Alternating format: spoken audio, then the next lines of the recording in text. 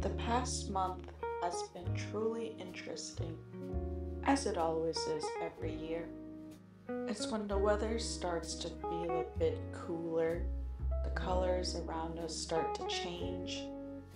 There's a feeling of change approaching, not to mention my birthday smack dab in the middle. That's right, October 14th. There's a lot to celebrate, to welcome, and to be grateful for.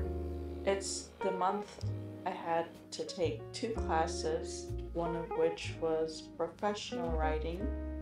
I'm especially grateful for this class because it helped me bring out something in me that I've been wanting to do, which is create more.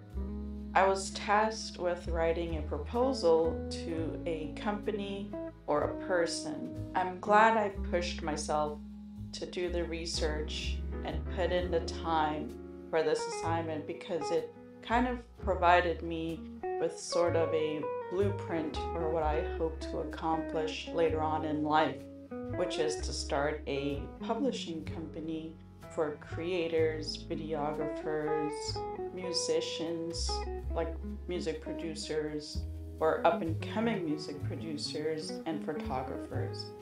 It also sparked that want, that need for creating more. Moving forward, I plan to follow that blueprint for my proposal to push me towards making it a reality. This month has changed me in a way I cannot truly comprehend. This class was kind of the catalyst I needed to push me in the direction I didn't think I could take. In October the month of calm and quiet change, marking the twilight of the year. With chill mornings and dimly lit evenings, we find peace and let the fall season drift and the summer season cease.